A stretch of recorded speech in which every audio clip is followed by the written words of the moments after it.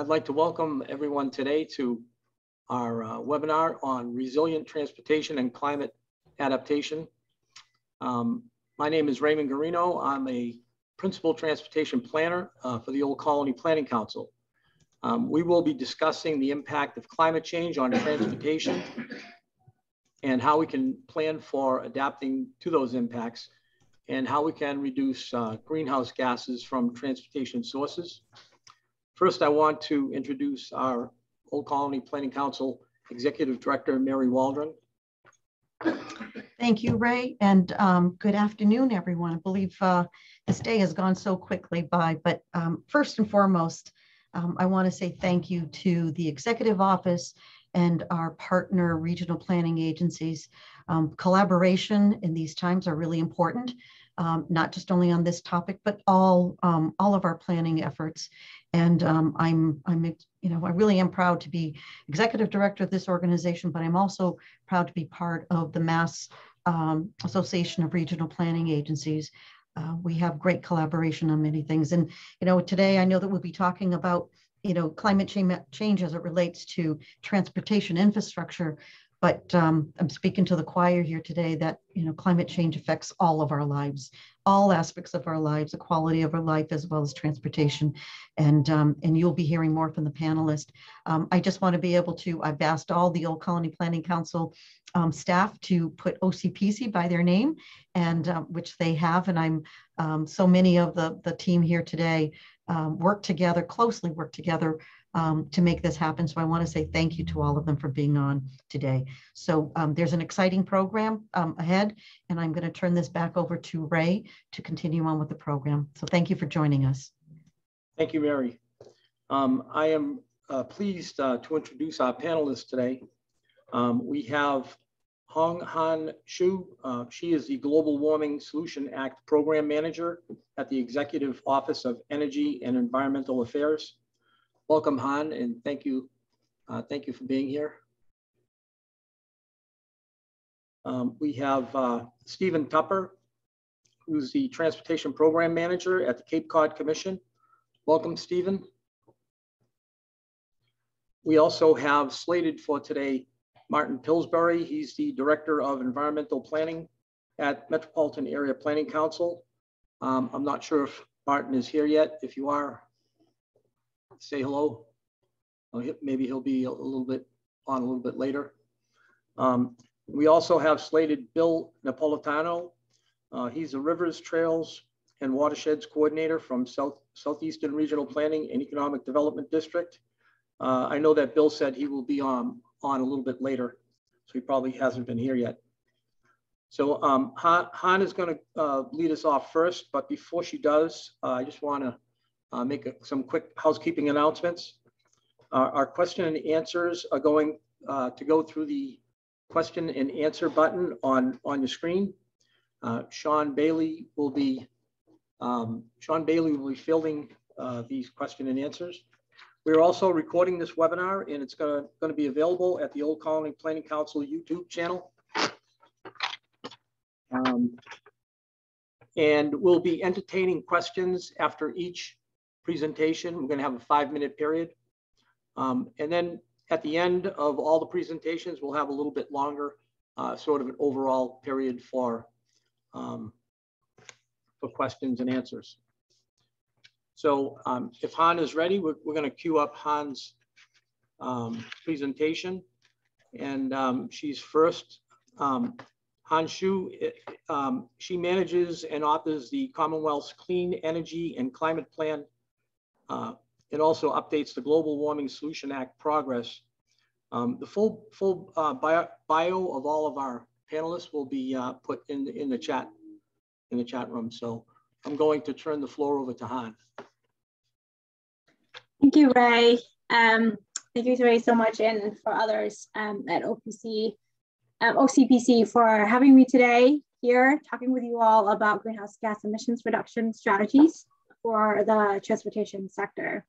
Um, while Massachusetts only make up about 2% of the US population and about 1% of the US emissions, we do need to do our part in reducing global warming um, limiting global warming and adapting to climate change.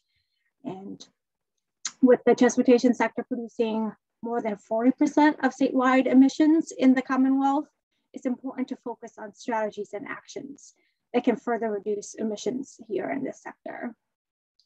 Could you go to the next slide, please?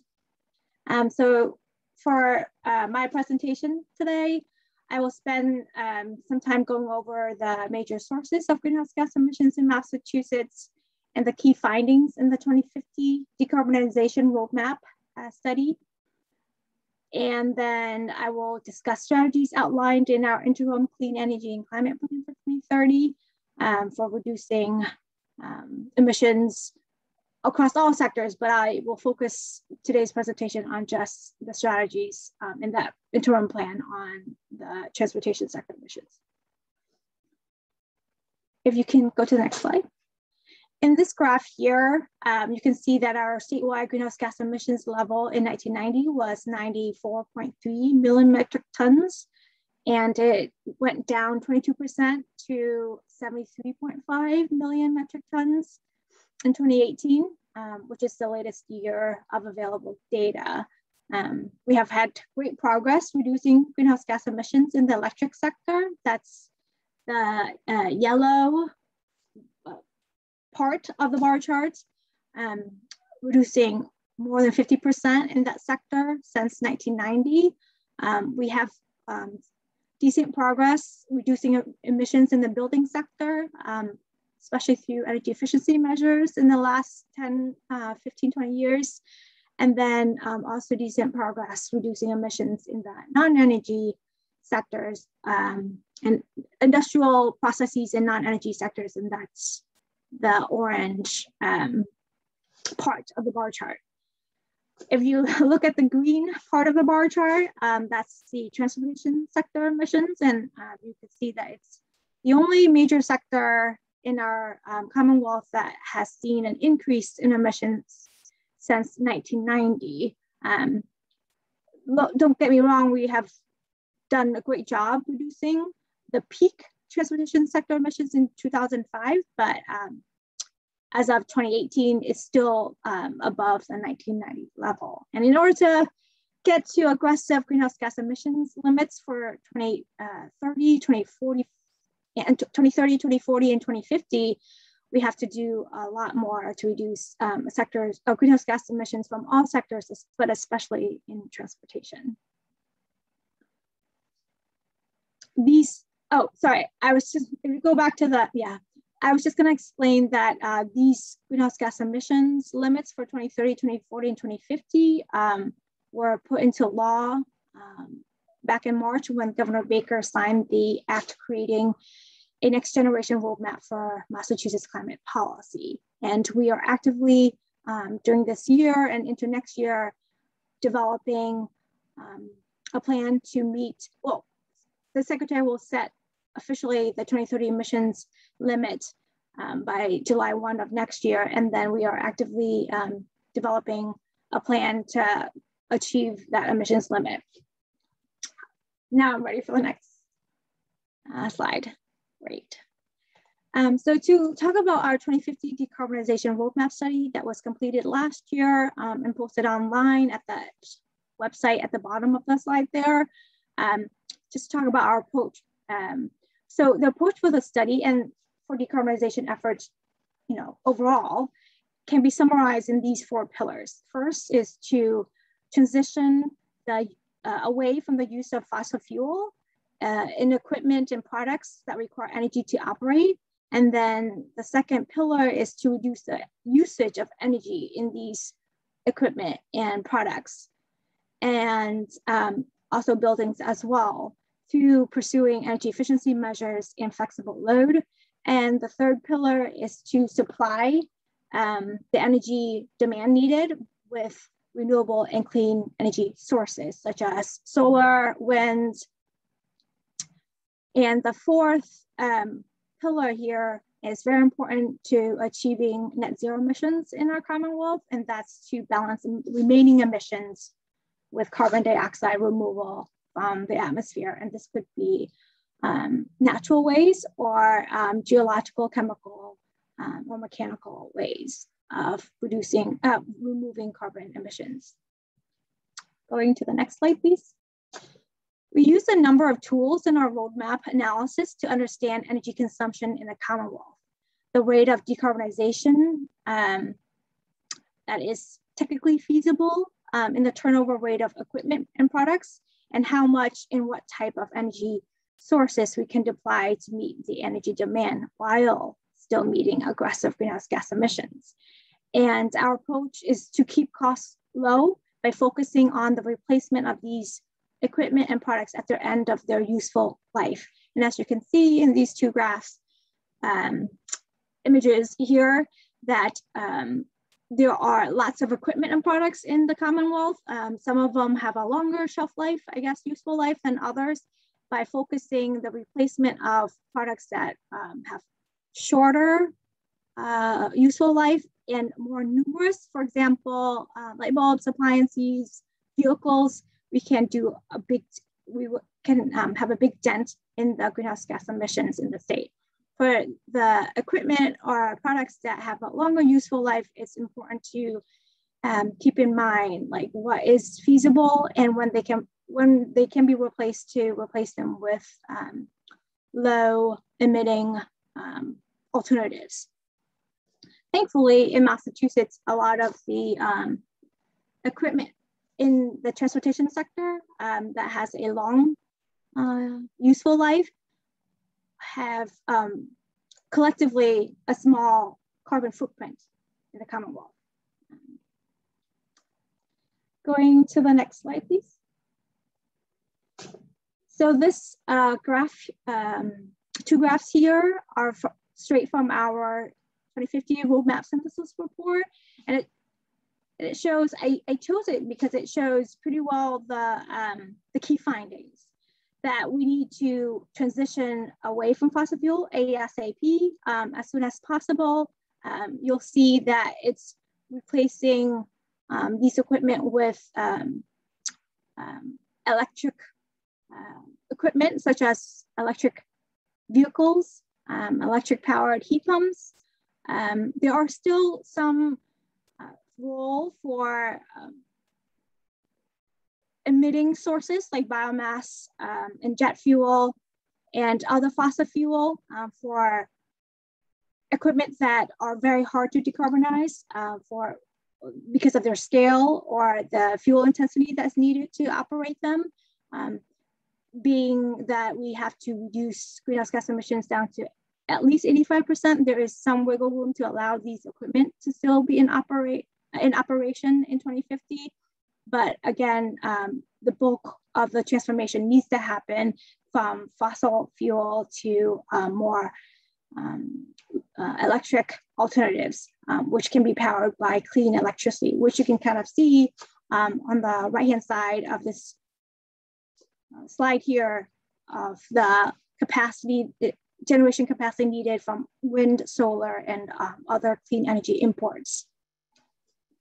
I can dig into more detail about this slide if needed, but um, in the interest of time, since I only have 15 minutes, I'll focus more on the transportation sector. Um, the transform transformation needed uh, in the light duty vehicles, uh, we estimated that we need to have at least um, close to a million light duty vehicles have to be electric vehicles by um, midway there, 2030, 2035. And uh, for our medium heavy duty, um, at least 20 or so, um, uh, 20 or so thousand uh, medium heavy duty vehicles have to be electrified um, to get to the pace needed to get to decarbonized um, um, net zero uh, carbon wealth by 2050. We did look at smart growth, um, meaning, sorry, we did look at mode shift. And so the next two slides are looking at um, results from um, our analysis into mode shift. And so this slide here is a table um, straight from the transportation technical report. Um, it's showing you the uh, million daily vehicle miles traveled um, in Massachusetts, broken down by different RPAs. And this is in a reference case, reference meaning no policies, just whatever current trends now uh, carried forward, uh, forward to 2050. And I colored um, here uh, Colony um, RPA region and um, the other regions to kind of show the different breakout between um, these regions, these categories of regions, grouping of regions. Um, so for Old Colony, we, um, based on the social, uh, socio-economic projections by UMass Donahue Institute back in 2018, um, and this is before the, the latest data from the uh, 2020 census. Um, Old Colony is projected to get a about a 34% increase in population from 2015 to 2050. Um, and uh, from the EarPat modeling that we did, we estimated that um, about uh, 34 as well percent increase in daily vehicle miles traveled um, in this uh, region. And so that works out to be about a, like a net increase of 0% uh, for the region.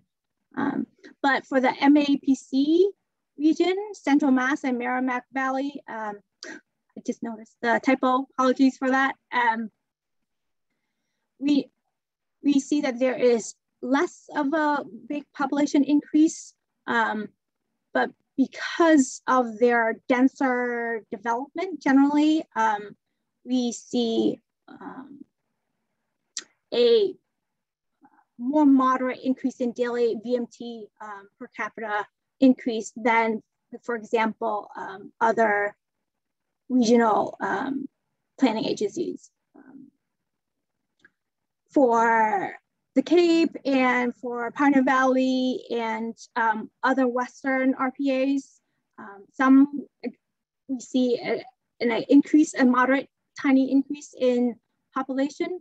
Some see a decrease in population in the next um, 30 or so years, but uh, because there are a lot farther apart, like the density is a lot uh, lower, um, there is a more sizable increase in VMT, daily VMT um, per capita in those regions.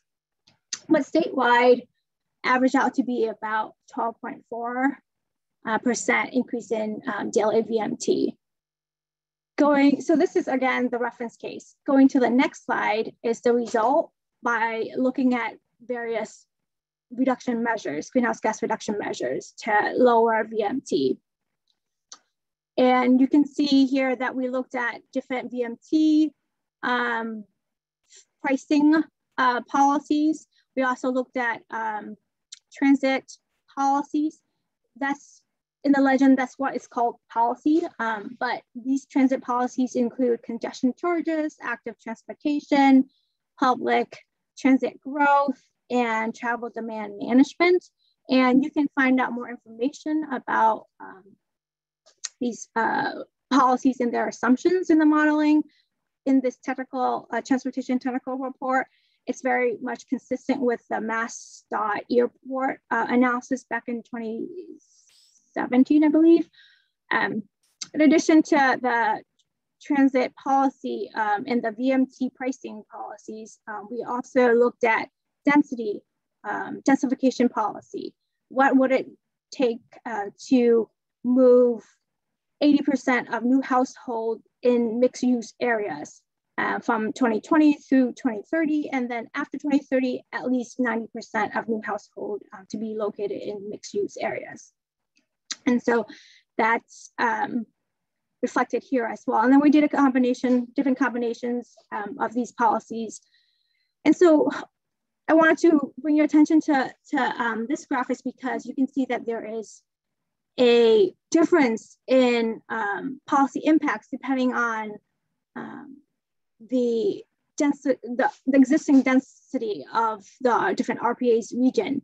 Um, so for the inner core, the self Suffolk area, you can see that because um, it's already dense, um, there are a lot of um, expected reductions uh, in VMT that we can expect from um, um, from policies like in trans uh, in transit oriented policy development and um, transit oriented development as well as uh, other densification policies. There's less of an impact on VMT. Uh, there's less of an impact um, to the daily VMT from pricing measures like the VMT fees. Um, alternatively, um, you can see that other regions see a, a, a slightly more impact from VMT uh, fees, but not a whole lot. Um, there's only, I guess, when you're that far apart, there's only so much that you could do um, to reduce your uh, vehicle miles travel, especially when there are no um, uh, or few uh, service when it, uh, when it comes to public transportation. Um, so that's in direct direct contrast to like the Suffolk um, region um, and the rest of the MAPC region um, that have um, more extensive public transit. And so our takeaway from this is that um, VMT measures are important, but uh, it's more important to complement them with electrification policies. And so we see um, the main policies in our portfolio is to uh, portfolio of greenhouse gas reduction measures is to electrify, but then complement it with um, VMT reduction um, uh, actions and strategies that further decrease uh, the energy usage and therefore emissions from the transportation sector. How am I doing on time? I think I have a few more minutes. Um, sure. Okay, so going on to the next slide, I'm going to talk more about the interim clean energy and climate plan for 2030. Um, again, it's very much informed by the 2050 roadmap um, analysis. And so um, we translate the pace of decarbonization from the roadmap study into what it takes um, to achieve, again, this was an interim plan. So um, when it was released last December, we were targeting for a 45% reduction in emissions um, economy-wide. And so that translates to about 8 million metric tons reduction from transportation from 2017 through 2030, mostly from light duty vehicles, some reduction from medium heavy duty vehicles, but um, majority of which of the reductions are in the light duty space because because, because again, one, they're um, they have a shorter useful life. Um, so their turnover rate is faster. And then there's also more of them. And there's more um, technology available now to electrify light duty vehicles. And so um, the middle column of the slide here shows you the different metrics um, that we identified as being implementation goals for us in order to achieve um, 45 emissions reduction economy-wide but particularly 8 millimetric tons reduction for transportation. And so um, uh, I can read them, but um, just wanted to highlight that um, there is some recognition that um, we need to curb light duty vehicle miles traveled to um, stabilize it at 56 billion miles a year. And this is uh, incorporating the increase in population as well um, that's projected in the future. So if you look at a per capita basis, it actually is a decrease in uh, VMT per capita. Um, and then we're going up a little bit in that column is we're hoping to target a lot of the um, VMT reduction in the commuting miles. Silver lining of COVID is that um, a lot of um, the workforce is turning to hybrid schedule or fully remote schedule. So that is really assisting us there. And MassDOT is doing further analysis on the um, effects of telecommuting on both the transportation sector, transportation system, and, and um, I believe also emissions as well. Um, so in order to achieve these implementation goals, uh, quote unquote, uh, we have a list of policies to the right, um, sorry, strategy to the right here um, that we proposed in the interim 2030 um, clean, clean, energy and climate plan. And I'll go to the next slide. Um, yep. So the next slide have those strategies, but I bulleted some of the actions that we are implementing um, to achieve, uh, to, to be consistent with those strategies. So for the first strategy is to cap transportation sector emissions and invest in our, um, invest in clean transportation solutions. And this is um, through the Transportation Climate Initiative Program. It's a regional program with Connecticut and Rhode Island and um, other states are interested as well. Um, as well, uh, the other policy levers are here that we can um, do is a low carbon fuel standard, also a regional program. More information on the TCIP program can, um, can be accessed through clicking on that link. And I, I assume this slide deck will be available to participants after this webinar. So you can click on that um, link. The second strategy is to implement coordinated advanced clean vehicle emissions and sales standards. And um, we're part of the 177, the section 177 states that um, have the ability to implement California's more aggressive vehicle regulations. And so um, we are closely monitoring California's advanced clean car standards too, advanced clean trucks rule and advanced uh, clean fleet, fleet um, rule. And so once they finalize that, we will go through our rulemaking process to implement it here in Massachusetts. And that will um, really help us uh, to achieve that 100% um, new vehicle being sold in Massachusetts being um, electric vehicles or other zero emitting uh, vehicles. In addition, we are um, a member of the 60 states who are going to um, implement a zero emission medium heavy duty action plan. Um, so the action plan is being drafted and um, we are um, implementing it once it's more finalized. And strategy number three is to reduce upfront costs of zero emission vehicle purchase cost burden. And um, the uh, Department of Energy Resources um, have expanded the MOR-EV incentive program um, to include now commercial and, and non-profit uh, fleets, as well as medium heavy duty trucks. Um, and we're also looking at other programs to reduce the upfront cost of um, zero emission vehicles. Um, third, fourth strategy is to deploy um, electric vehicle supply equipment and enable smart charging. And we're doing this through the DPU's review of utility utilities uh, submitting their plans for residential charging incentives, these, uh, DCF rebates, etc., um, and other charging um, um, uh, rates and use cases.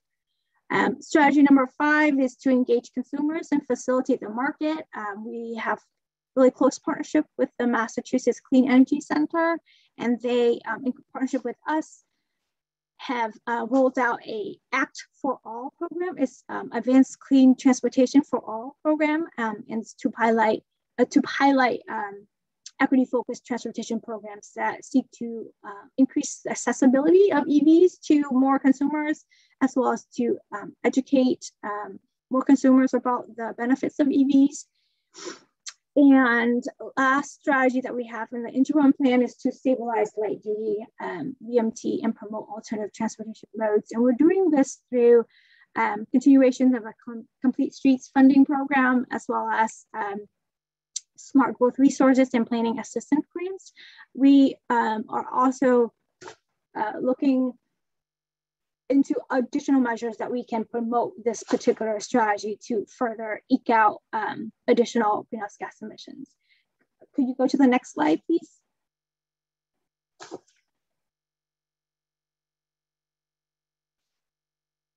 Can you go to slide 12? Uh, sorry, 11?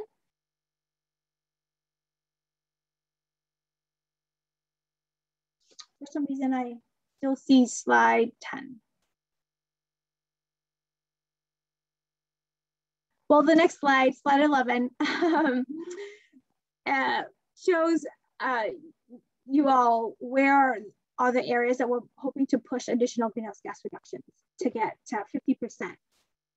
And the, re the, the, remaining um, slides um, talks about our next steps to um, update the interim 2030 clean energy and climate plan to be the final clean energy and climate plan for 2025 and 2030. And um, essentially has a Gantt chart and um, uh, commitment to having public engagement um, listening sessions um, in March of next year to talk more about our proposed emissions limits for 2030, sublimits for 2030 and 2025, and um, as well as our proposed policy portfolio to meet those emissions limits and sublimits. So that's the end of my presentation. Thank you. Thank you very much. Um, I think we might be having some technical difficulties with our um, the screen. Charlie, uh, are you are you frozen or?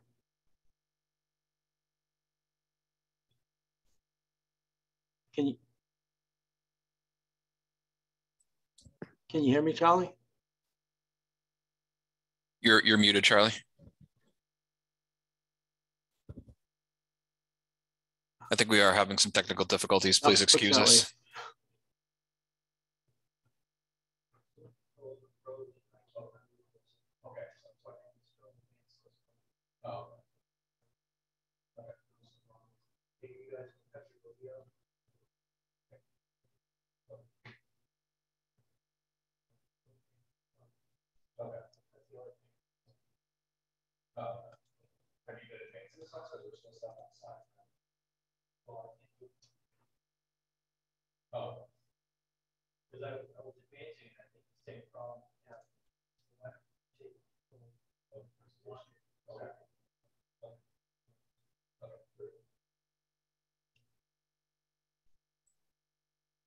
We, we apologize for the technical difficulties. We're trying to, our best to uh, to fix it. Um, looks like we have a hand raise, uh, Carlton Hunt. Hi, uh, can you hear me? Yes. Thank you very much. I have three points. Uh, incidentally, I'm the, I am the Energy uh, Committee in Bridgewater, Massachusetts. Um, been chair for some years. Um, I wanted to on your slide on the wind projections, the energy coming from wind and from solar, et cetera. Does that include energy from rooftop low wind velocity harvesting equipment? And this I'll just do my three questions. Uh, under the T6, the rapid, uh, the transportation concepts and new concepts, there is a innovative above the street, solar driven rapid transit uh, system that's been developed here in Massachusetts, but I, I, haven't followed it for some years. But that would solve a lot of the uh, traffic coming into towns like Bridgewater to the university. Um, and I didn't know if that kind of concept was going to get further consideration. I think it could be, uh, uh, quite frankly, uh, major transportation changing in terms of commuting. And then the third question is, um, what do you suggest? I'm also participating in our comprehensive master plan update and have somewhat lead on the transportation. What do you suggest the comprehensive master plan uh, should include regards to the transportation efficiency. Um, anything like that would be helpful. I've, we've got a number of recommendations, but I'm just trying to figure out, you know, what's really um, for a town the size of Bridgewater and location. Thank you. I think those questions might be for Han, if if you'd like to. Sure. Uh, yeah, I think um, I think our first question, Carlton, is asking about um, the slide six, I believe. Um, and you're asking whether, if, if I heard correctly, whether or not uh, the solar wedge in the right-hand side graph um, includes both ground mount and uh, rooftop solar. And I said yes. Um, my answer is yes. Um, in our modeling, it shows that um, the the amount of solar can be in, interchangeable, like whether it's ground mount or rooftop. The the limitation, I guess, are cost and uh, physical space. Um, so, if I might clarify, I'm not the solar. I'm talking about wind generation and rooftop. Uh, to go a little bit further, here in Bridgewater, we have an inventor who's gotten a patent recently on a bird-safe, bat-safe rooftop wind generator. It harvests wind at about five knots and up, has automatic cutoff. It can handle basically high storm winds uh, and it generates, it can be, bang, be ganged up. It can generate all sorts of different uh, 40 amps, 200, 100, whatever you need but it also has the ability to do DC, AC, and 220 and 110. So it's a really neat system that here in Bridgewater, we're, we're going, as far as I know, we've got an agreement in process where he can um, place it at the golf course to harvest a year's worth of wind to get a little bit more data. But I think that type of generation uh, is great for the simple reason that wind occurs around here a lot of times at night. Solar mm-hmm. doesn't work at night, but wind works 24 7 if we have a wind, and especially low harvest. So I think that's the kind of thing we need to uh, start to look at in more detail. Thank you. Yeah, thanks uh, for that clarification and um, more information about that system. Uh, certainly, that is very interesting, and we'll be on the lookout for different um, new technologies to supply clean and low carbon um, carbon uh, electricity. It, in this particular study, we did look a lot in offshore wind, just because of the um, huge amount of capacity. But that doesn't mean that we only think offshore wind is the answer. Um, so certainly, we wanted to be open minded to all the different um, clean energy sources out there. Thank you. Thank, thank you for those questions. Um, and, and thank you for that presentation, Han. Um, the Clean Energy and Climate Plan and Decarbonization Plan and the implementation of the Global Warming Solutions Act is very important, I think, in Massachusetts um, in dealing with climate change. So um, uh, I, I, want to move on for the sake of um, for the sake of time. Uh, we, we, do have the other presenters who, who came in. I'm going to take them out of order because I know that um, uh, Bill Napolitano has, uh, uh we're going to, if, if you can jump to um, SRPEDD's, um, can you do that, uh, Sean? Um, yes, uh, one second, please. Yep. so I'm going to try to try to get the, we have a, we have a lot of, we have four more presenters. So if we can uh, get them in, I, would like to. Um, so I'll, I'll go last in case we run out of time so we don't have to, um, I'll, I'll, I'll, take mine out. But um, I want to go to Bill Napolitano and then I'm going to go to Stephen Tupper after that. Are you there, Bill? Yes, I am, Ray.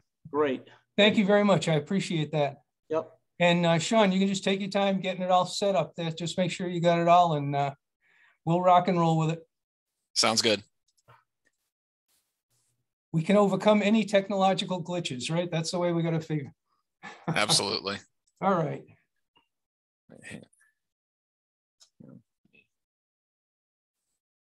Okay, here we go. All right. That would be me. Okay. I'm Bill Napolitano. I'm the uh, Rivers, Trails, and Watersheds Program Manager at SRPEDD, and today I'm pinch hitting for Helen Zincavage, who's our Environmental Program Manager. Um, so I'm coming at it from a, a different perspective. You have uh, a lot of obviously transportation modeling from the state end. You're going to hear from people who deal mostly with transportation. Following me, um, I've been in the environmental sector for about 35 years. And you can go to the next slide.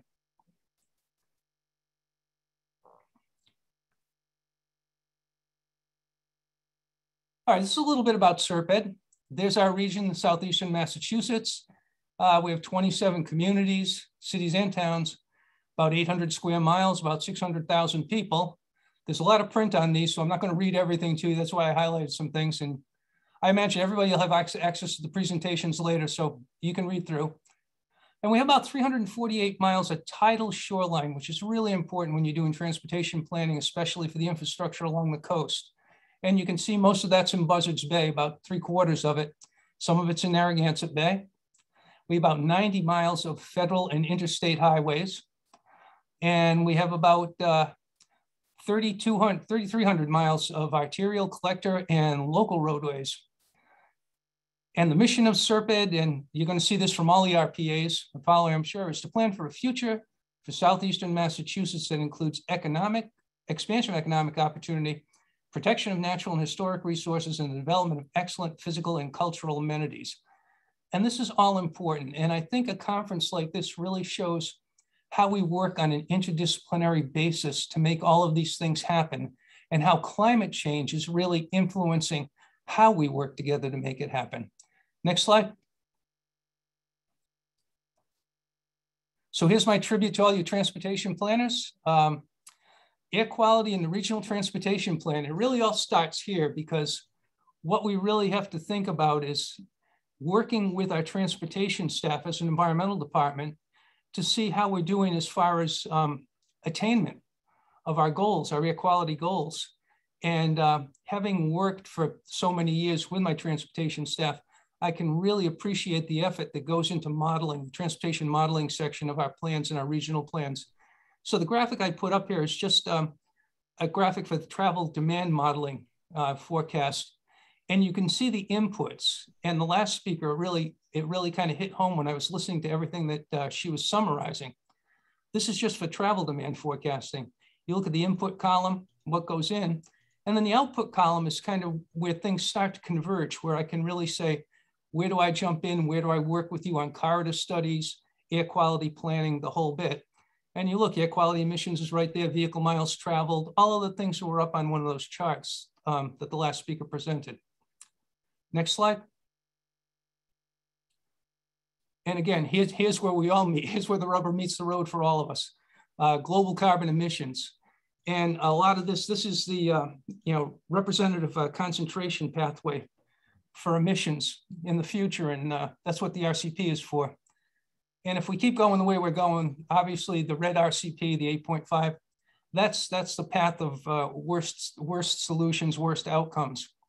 Uh, we still have time to do things, obviously, and some of the solutions that were uh, just discussed previously are the way to go. And hopefully we can uh, green line it. We're probably looking more towards blue lining it, but uh, again, these are the things where we really get a chance to work with our transportation staff and all of our other our comprehensive planning staff doing bylaws, um, people who deal with energy on our staff, green communities folks.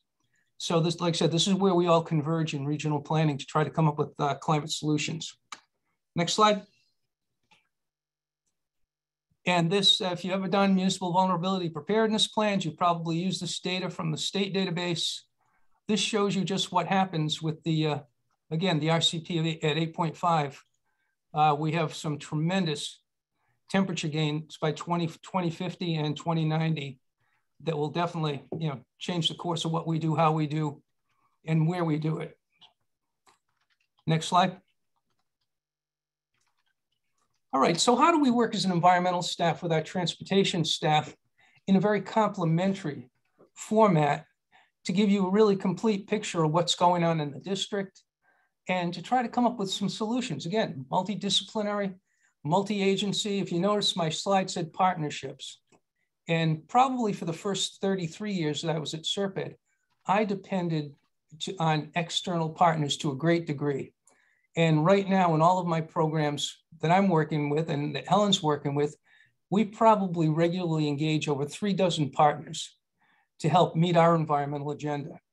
Some of these programs go back decades. Um, and we still, as much as we use all the data that we can get from MassGIS, EPA, NOAA, all of the sources, standard sources, again, that we all use as RPAs and as a communities, we're still very much boots on the ground because one of the things I've always found is that you can use modeling and it can predict outcomes. But when you look at certain areas that are vulnerable or susceptible and go out and document them in the field, it really shows you how change is occurring. And sometimes it occurs very, very slowly, but monitoring over time will give you, I always say, simple truths and profound clues as to which way you should proceed. And uh, that picture on the slide is actually Helen Zincavage down there doing some uh, culvert monitoring and uh, assessment for the town of Dighton we did the entire system in Dighton because there were problems in certain places. Helen is a certified floodplain manager and a certified state culvert evaluator. So she leads teams out and uh, helps cities and towns that way. Probably the oldest program we have is the Geographic Roadway Runoff Inventory Program, GRIP. And it deals with flood inundation, stormwater management work, and it's where our transportation infrastructure encounters environmental areas that could be vulnerable or susceptible to flooding, uh, stormwater impacts, or whatever, even expansion, transportation corridor expansion. The next one is dam removal and river restoration projects. now I got a great slide coming up later on on this, but in Southeastern Massachusetts, since 2005, we have worked again with numerous partners, uh, the Nature Conservancy, the Division of Ecological Restoration, NOAA, the USDA, cities and towns, the Watershed Alliances, Mass Audubon. Uh, we have affected the removal of eight dams, reclaimed 1,000 uh, acres of uh, floodplain and habitat, and hundreds of river miles of spawning habitat too for uh, a restored fishery. We do stream continuity studies, culvert assessments. Again, there's our partners right there, Save the Bay, Mass Audubon, the Nature Conservancy, Taunton River Watershed Alliance, and many more. Um, in our area, we've surveyed now over 765 culverts, I believe was the last count. And we've done assessments and looked at vulnerabilities, what needs to be fixed. Hopefully, I mean, it's, it's a lot of money, it's a lot of time, but maybe we can do things to help improve situations. We've also done um, flood inundation hazard reports, probably for the last dozen years. And we look at tidal encroachment. Um, and we've also done uh, salt marsh studies with Save the Bay, uh, the Wildlands Trust in our communities. And the big thing about the salt marsh assessments is they provide um, obviously free ecological services for the communities, the host communities, especially around the coast. And one of the things I always remind folks on the Taunton River is that you are in an estuary, so you are a coastline. So the salt marshes are providing you with free ecological services. Um, energy dissipation during tidal events and storms, um, you know, tamping, uh, same thing, tamping energy, but also carbon uh, sequestration. And a lot of people don't realize that, that the, uh, the soils, the forests, the waterways and the marshes are all part of a, pro, you know, a solution to uh, the carbon problem. And then we have uh, green infrastructure considerations in our open space planning and resiliency in our master plans. And two of the tools that have been developed in recent years, one of them through our partners at Manomet, that's kind of been taken to the state level by Mass Audubon is the green infrastructure mapping for the state. And it's a fabulous, fabulous tool and it really opens some eyes in uh, communities. And you'll see an example of a slide coming up. And then uh, resiliency and master plans. I mean, we've been talking about things, you know, managed retreat, um, coastal, coastal buffering, living shorelines. Um, again, hopefully these are things that can be integrated into all of the planning community-wide into regional plans so we can come up with some cooperative types of solutions. And then we're integrating uh, recommendations found in open space plans, transportation plans, MVP plans. The MVP program's been a real blessing and it's really helped to open some community eyes and they've been great as far as putting money into potential solutions and further study that's really needed. Hazard mitigation plans, and then um, others such as uh, the Taunton River Watershed uh, Climate Adaptation Plan, which again was uh, done through Manomet and several of our partners a few years ago. Next slide.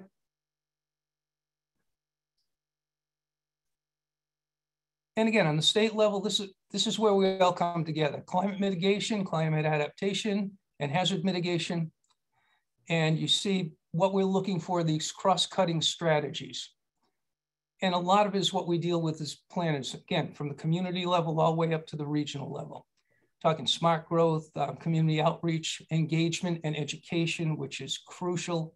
If you want people to own the plans or create living plans, people have to understand what we're trying to help them with.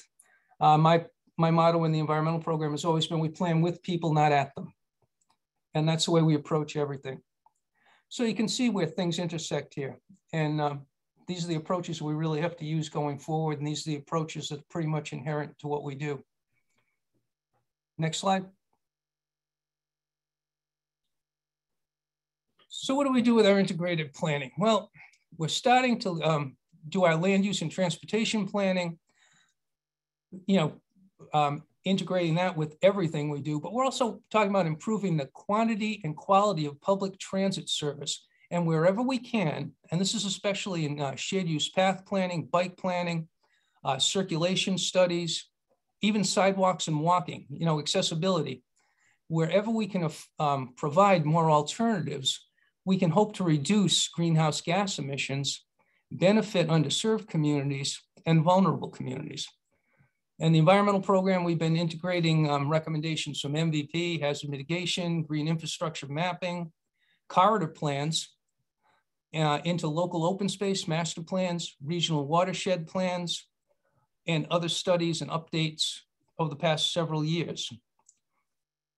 One of the things that um, I, have really enjoyed doing is we've worked with the EPA on several pilot projects over the years. And uh, back in 2018, 2017, 2018, we had a chance to work with um, the EPA uh, piloting the Watershed Management and Optimization Support Tool, or WMOST, in the Wading and Three Mile River watersheds.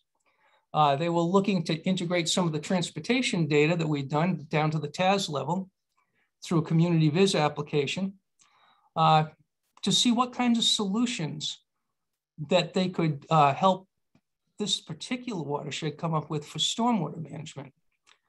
And again, it was it was a great process. We did uh, we gave them our transportation data, and from the planning end of it, we uh, kind of supplemented the traffic models with a little bit more detail, you know, granular says granular um, inputs for the corridor, you know, specific things that the EPA was asking for that we had. And one of the great outcomes of this was, even though this was a pilot project, it showed the value of nature-based solutions retaining the natural environment, uh, mimicking the natural environment, you know, with uh, stormwater features along roadways as being probably the most cost effective and beneficial solutions to uh, stormwater and flooding in this particular subwatershed area. Now, I know they're uh, beefing this up and it's actually right now, this watershed is uh, part of a, a flow study uh, process with the EPA that we're also participating in. Next slide. And here's another um, example of something we're doing when we're integrating studies. This is a map uh, from the Marion Open Space Plan forthcoming.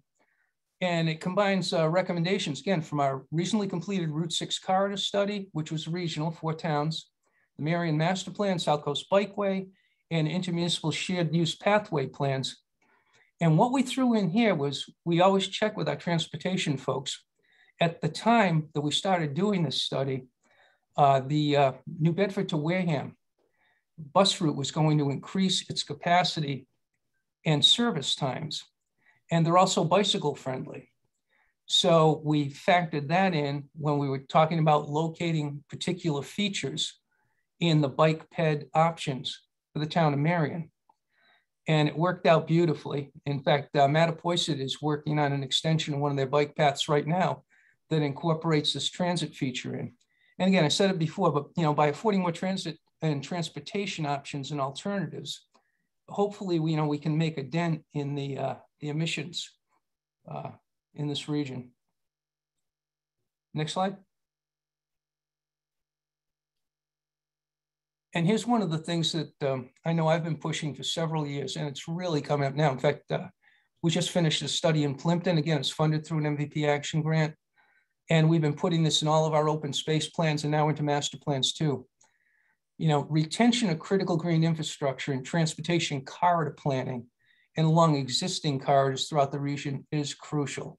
You look at areas of heavy congestion um, and you see, you know, adjacent forest land, um, adjacent woodland, waterways, everything, but forests in particular sequester about 14% of the state's gross annual carbon emissions. That's just a fact. And an average acre of forest land stores about 85 tons of carbon. And as forest age, this capacity increases. One of the things I was talking with our transportation director about is that we have the green infrastructure mapping for the Commonwealth. Now, like I said, Mass Audubon has that. I don't know if they have released it or are going to release it very shortly for every community. It would be good to revisit our regional transportation plan, our corridor plans, corridor improvement, corridor expansion plans, and see where this critical green infrastructure exists so that we don't lose it. Again, these are free carbon mitigation services, ecological services that are provided by nature.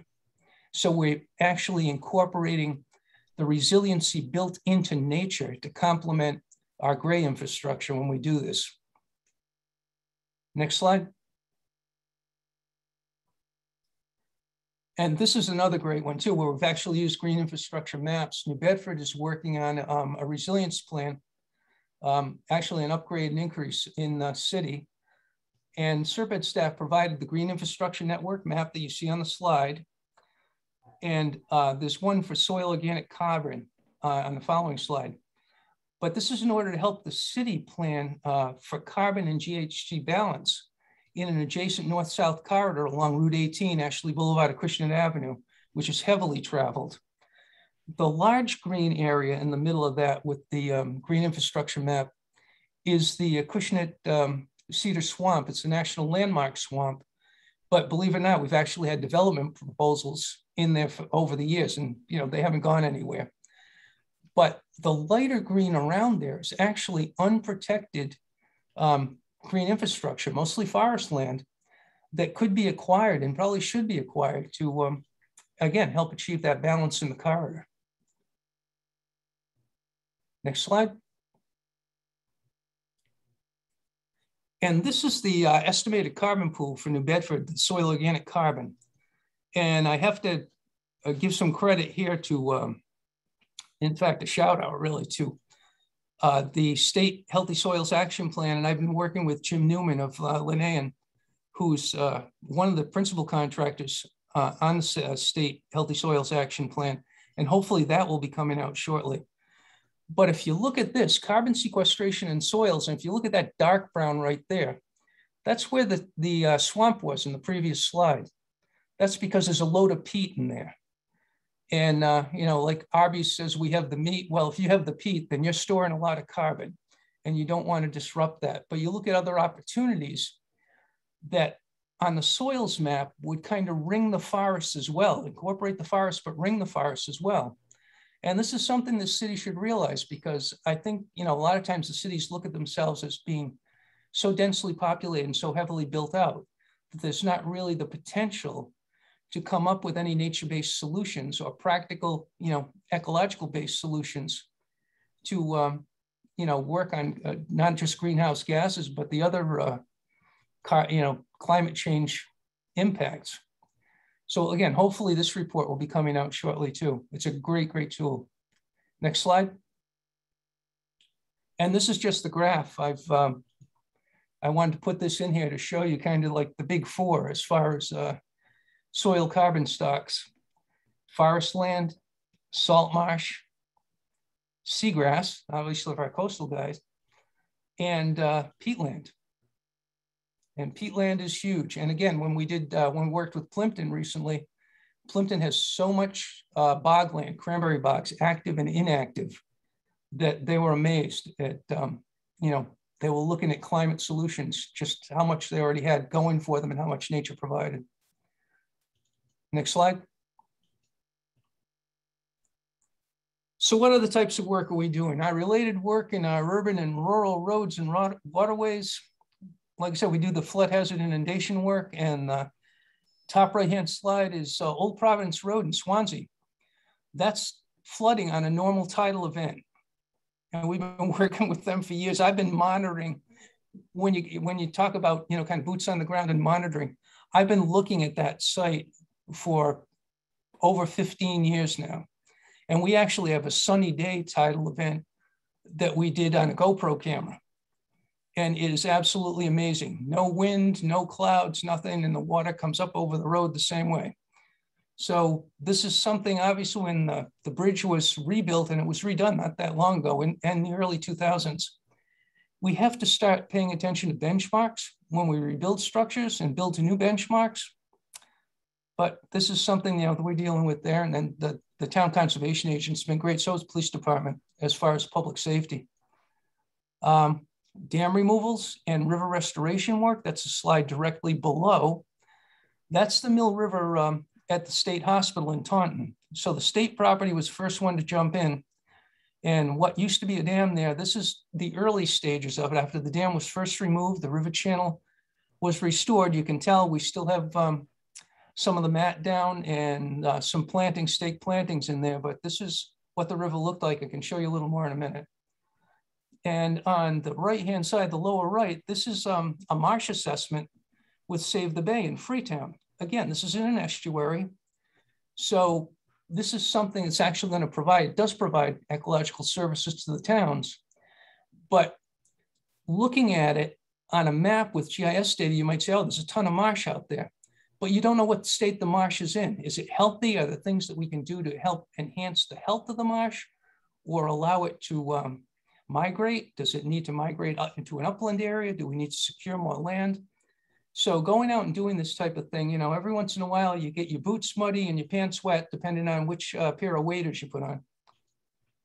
Next slide. Oh, Charlie. Sorry, anyone? No, check, see, like, check this out, right? Um, this is just some more examples. This is a, a, wave damping assessment, the first slide that we did in Berkeley uh, to talk about um, the ecological services provided by marsh. And uh, we did that again with Save the Bay and the Wildlands Trust because they were actually property, property owners along there as well as Bristol County Agricultural High School. The middle slide is actually Waterfront Park in uh, Somerset and we've done some work down there and some subsequent work with the state to make park improvements and the community. Um, there is a parking lot under that water. that's, again, that's a tidal event. And then uh, the last slide is um, climate change and sea level rise work that we've done in uh, Dighton. And that's right around, again, the uh, Bristol County Agri Agricultural High School. And we were looking at maybe um, changing the mowing patterns in the lower field to allow for marsh migration to help um, offset tidal surge, storm surge, and allow the, the um, existing marsh to uh, migrate back a little bit to provide more protection to that bend in the river. Next slide. This is one, probably one of my favorite projects of all time. Um, we worked with the Division of Ecological Restoration and 19 other partners to effect uh, dam removals along the Mill River. And in the course of the project, we did three dams, um, worked with Mass DOT on a fourth that had to be revamped on Lake Sabbatia. But on that one, we put in fish passage, a fish ladder, and an eel ladder. Um, but this one's the state hospital dam. This was the first one out of the out of the box. The top slide, top left, if you go from the top left down to the bottom uh, right, that's 2012. Uh, and actually, we'd started this project in 2010, getting all the permits, studies and the whole bit. But that's the dam as existed in 2012. It was an old industrial dam, had no use, no use for many, many years. And uh, it just created an impoundment, a shallow impoundment behind it. It impeded the flow of the river. It had impacted the um, riverside buffer, forest vegetation, obviously wildlife, fish passage. So it was doing a lot of things that it shouldn't be doing. The second slide is obviously the dam removal slide. And that's again 2012. The third slide, lower left, is 2014. And that's when we, um, we actually got out, we, we used to um, monitor the river. Uh, you see a little bit of growth coming in. We went and did uh, hand removal of invasives. We did um, hand planting, and we actually did some uh, raking and seeding. And the last slide, it, and these are all the same view of the river, by the way. This last slide is 2018. We have a beautiful streamside forest coming in. We have beautiful flow. We have fish passage, everything that you would want. And the benefit here is when people were first looking at this, they said, okay, you restore flow, you've uh, limited, one of the big things on this river too is it was a flood scare in 2005, if any of you remember. There was a huge flood scare when um, the Whittenton Mills Dam a little farther up the river, we removed that one too, uh, looked like it was going to breach and, you know, flood the city of Taunton. So that precipitated all of this. But it's not just the flood abatement. Here we've reclaimed floodplain, we've reclaimed streamside forest, we've normalized the river channel and allowed it to flow the way it was intended to.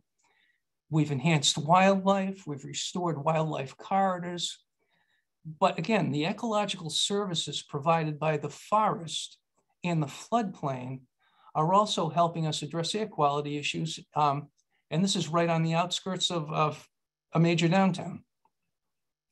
Next slide. And this is the map.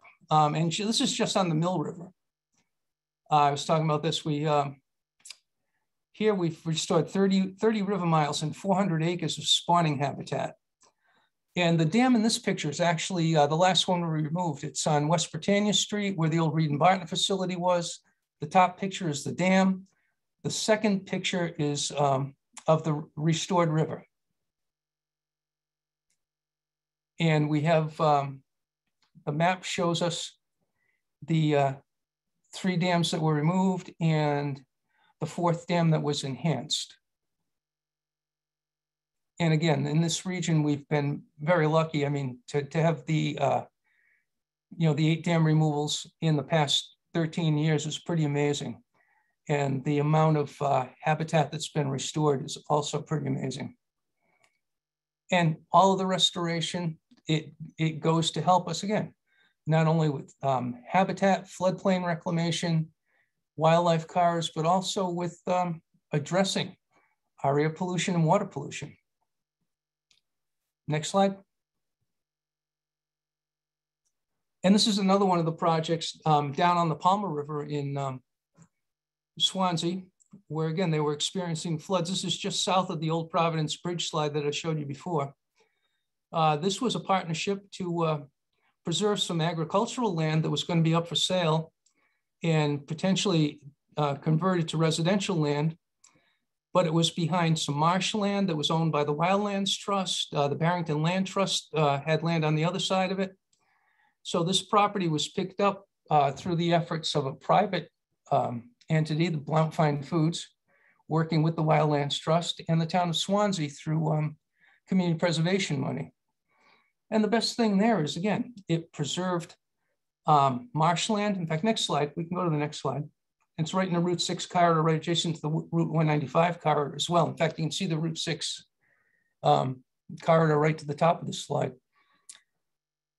It helped us retain identified green infrastructure in the area that contributes, again, to the dissipation of energy associated with storm, extreme tidal and flood events, and contributes to carbon sequestration. It increased the amount of conservation land protected in perpetuity in the area along the Palmer. This added almost in total 100 acres in properties.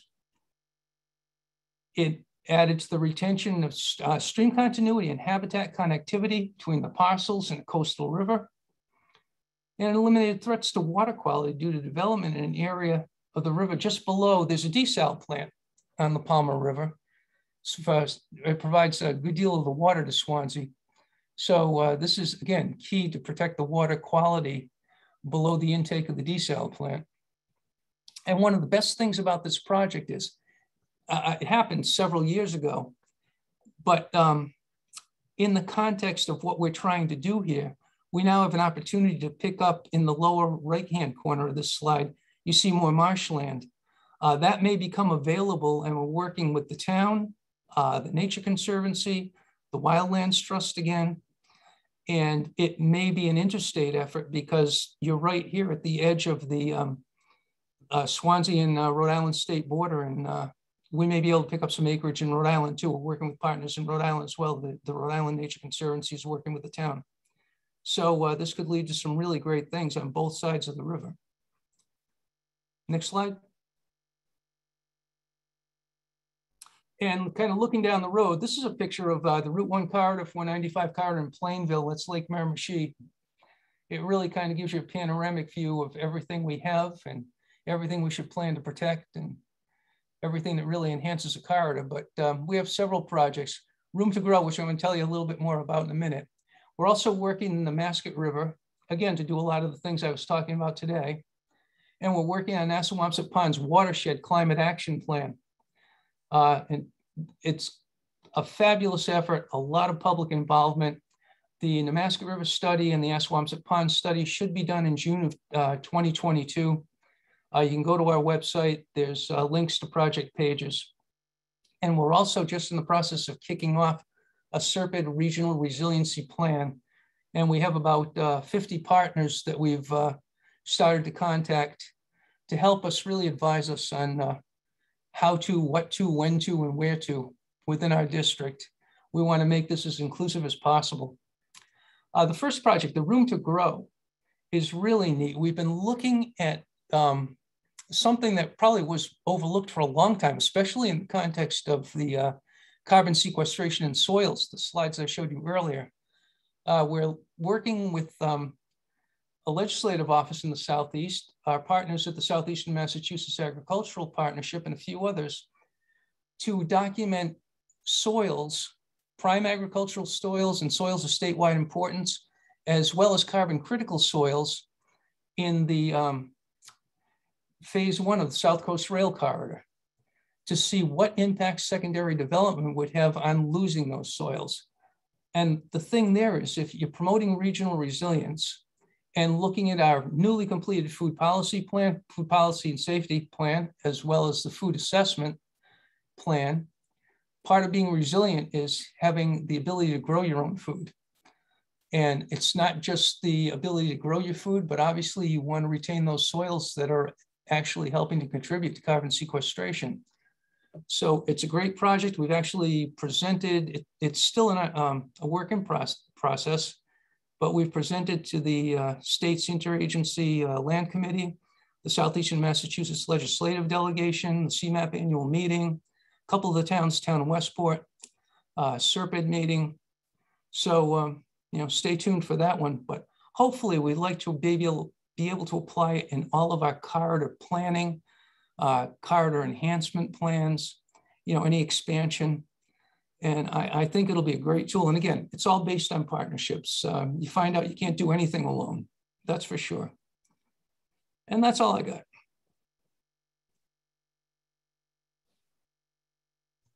Thank you, Bill. Um, we have a number of questions. However, we are running behind. Um, we're already over an hour. Um, that was a that was an excellent um, uh, presentation on what's happening at, in, in SRPEDD. So uh, I want to thank uh, thank you, Bill, and I want to thank Stephen Tupper for his um, patience. Um, so I'm I'm going to do um, questions at the end of, of everything. So I'm, I'm going to put Stephen Tupper on next if he's ready to uh, go. That he's with the Cape Cod Commission. Are, are you there, Stephen? Yes, ready to go. Thank you very much for the opportunity. You're, you're welcome. So while we get the slides up, I'll get started. So again, thank you for having me on the panel today. Happy to follow a couple of great presentations and look forward to the others this evening or this afternoon. So if you want to go to the next slide, I'll just give a quick overview of the Cape Cod Commission. I'm sure most of you are familiar with a regional planning agency down on Cape Cod.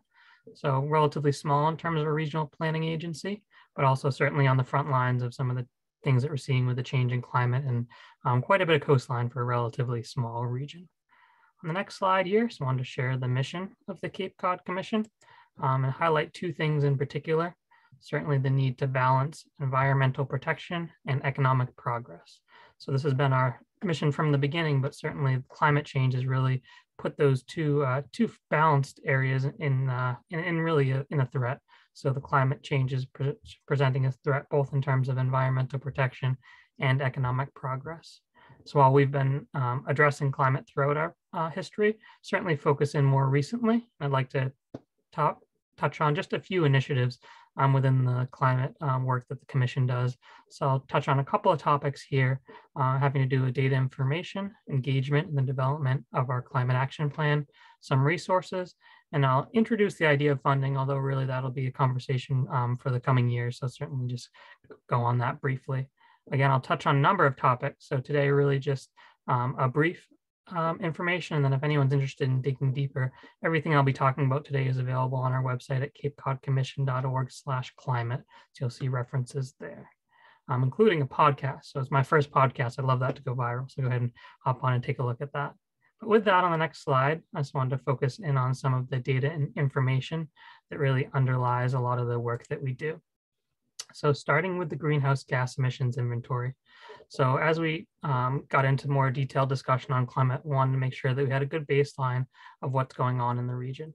And certainly as RPAs, we deal with many controversial topics. Um, and there's a lot of misinformation out there, particularly dealing with the climate. So I wanted to make sure we had a good baseline. Um, so um, following on the work done by the state and also models put together by other RPAs, I wanted to look at specifically what's happening within the Cape Cod region. And as you can see on in the graphic here, transportation sector clearly rose to the top in terms of greenhouse gas emissions. And we also went through and documented contributions from all of the other sectors. And as was highlighted in the previous presentation, certainly focused on the importance of carbon sequestration from our natural environment, both in our area, the forest lands, and also the coastal marsh that certainly will play an important part going forward. I want to spend just a couple more slides on the transportation sector. So on this next slide here, you'll see a little more information specifically about the emissions from the transportation sector. It's probably no surprise to folks on this panel here. The on-road emissions leads the um, transportation sector. It's really that driving that we do every day um, that um, equates to the issue in the transportation sector. And is a real challenge because it really goes down to personal choice in terms of a lot of these, although it's really an unfair, uh, unfair word to use personal choice in some of the areas where we don't have a lot of choice in terms of transportation modes. We'll get into that in a little bit there. I did also want to highlight this emissions inventory was um, put together with a technical advisory group, certainly helping us along the way. And then within the GHG inventory, we drilled down into each of the topics, and there's a um, quite a bit on our website about that. But here, just focusing on the transportation side, looking at the roads that are traveling um, throughout our region, this is just a breakdown of the um, vehicles registered in Barnstable County. We also look at those that were visiting the region, certainly important. Um, but the takeaway here, as is the case in other places, um, predominantly internal combustion engine, not a lot of electric vehicles. Um, really, that's resulting in the high emissions that we're seeing from the transportation sectors today. Um, so certainly something that we're targeting going forward. But really, the greenhouse gas emissions inventory just set the baseline. And what we are talking about is what is going to happen next. So on the next slides here, we'll walk through uh, another initiative that we um, undertook to really set the data behind the story. And that was a emission uh, economic and fiscal impact analysis. So really putting the numbers behind what's going on um, in our region in terms of the impacts that we're going to face in the coming decades. You can see on the slide a number of the topics um, that we touched on. But again, we wanted to look forward. So we came up with a number of different emissions um, future emission scenarios and working with a consultant looked at what would happen under a number of different scenarios. Um, one being the um, simple business as usual, and then what happens as a region if we take some um, specific strategies um, going forward in terms of electrification or efficiency. And really, what does that mean in terms of some of the underlying numbers? What happens if we put X number of um, electric vehicles into our fleet? What happens with um, some combination of weatherization and heat pumps? Really put the numbers behind um, what could happen in terms of a potential future scenario. So we have some data to talk about. And the last slide here in terms of the economic and fiscal impact analysis, we wanted to quantify um, some of these scenarios. What is the cost of doing nothing, which in many cases was quite um, informative and quite um, uh, disheartening in some cases, but also looked at cost benefit analysis for some of the adaptation strategies and the mitigation strategies that um, were investigated as part of this process. Um, so that really, when we could start to look at our futures, we'd have the numbers behind it. But as was alluded to earlier, the numbers only get you so far. So those um, analyses are really just to form the conversations that were part of the development of our climate action plan, um, which was formed with a really community conversation. So I'll spend just a couple of slides talking about the Cape Cod Climate Action Plan, as is highlighted, or as is shown on the cover here on the next slide. Um, so really, there's been a lot of good climate initiatives throughout um, Cape Cod and from the public side and the advocacy group the climate action plan was really an opportunity to bring together a diverse stakeholder group. So when we put together this plan, it represented not just an advocacy perspective, um, but really brought in all the important players and made sure that it set a, a plan, an action plan, action being the key word um, for the coming years to come. So on the next slide here is the purpose statement of the Cape Cod Climate Action Plan. I won't read through it, but the important part was that it was really science-based and it set up um, strategies for a number of different actors. Um, so the Cape Cod Commission had a subcommittee that guided this process, so we could have some um, regular um, guidance on how we wanted to direct the policy. But ultimately, it's a set of potential actions to both deal with climate resilience, climate adaptation, and climate mitigation. Um, so really, that was the overall purpose of the study and guided a lot of our work in this area. On just on one slide, I could have spent quite a bit of time here on the stakeholder process, just to highlight the diverse group of individuals and organizations that were represented, we certainly spoke directly with our municipalities, had a series of um, working groups that engaged a broader um, community, and then focus groups that went into each of the different subject matters to make sure we really drilled into that um, and continue to communicate with those different groups. And then not highlighted on this slide, but kind of a different effort. We also had a climate ambassadors program where we work specifically with individuals um, in our um, regional um, and local high schools to start to make that connection across the age spectrum. Um, so the outcome of all these activities highlighted on the next slide here was an action plan with a series of um, strategies. Um, here highlighted, I won't go through each of them, I'll just focus on the transportation ones, are the 11 priority strategies. Those are the ones that based on our work had the most potential for um, positive outcomes and were really important to meet meeting the climate goals that um, were established in this plan. Um, I also want to highlight that under each strategy, there's a whole series of actions um, as well as specific steps and identified actors that would need to play a part in that. So of course, at the RPA, we're not the ones to implement many of these things. We rely on the municipalities, individuals, businesses, nonprofits, a whole range of actors, and also um, up the chain rely on actions at the state and federal level. So the plan really details the roles of all of those different actors in these strategies. On the next two slides, I'll focus specifically on the priority strategies related to transportation. So the first is to reduce vehicle miles traveled to support low and no carbon transportation options. These were things that um, at the RPA we'd already been focusing on, certainly looking at the importance of public transit, investments in our bike and pedestrian networks, um, and travel demand management strategies. There's really putting it in a climate context. Um, so when we see climate, when we see advocates out there advocating for a bike path, it's just another quill um, in the quiver in terms of reasons why these investments are important. Um, so these are some of the um, actions identified under this priority here. And then the second strategy related to transportation is to accelerate the electrification of the transportation system. So undoubtedly, this would be one of the most effective in terms of um, driving down greenhouse gas emissions. Um, so we go into some of the strategies and some of the actions specifically under this area. Um, we also went into a bit of a deeper dive, and I'll touch on that later in terms of how this happens and making sure that it happens in an equitable way. Certainly there's unique geographic challenges um, for each of the regions. So um, how that rolls out um, from some really important statewide programs happens differently region by region. So next I wanna move into a couple of the tools um, that we've developed since the climate action plan. Now I could do a whole presentation on any of these, um, but I'll just give a, a quick snap, snapshot here and then certainly um, offline, happy to follow up with any questions here and happy to certainly have everyone explore these on our website. So first is a siting analysis that we did for electric vehicle charging stations. Um, so we started out with a simple inventory of all the stations out there. There are certainly a number of consumer tools that can be used to identify where the stations are. But we dug a bit deeper and um, did some site visits as well to under, uncover some of the issues um, with the stations. And then I'd say more importantly, identify some of the gaps in our network. So both in terms of geographic gaps, um, where there was a lack of charging infrastructure, particularly for the visitors to our region.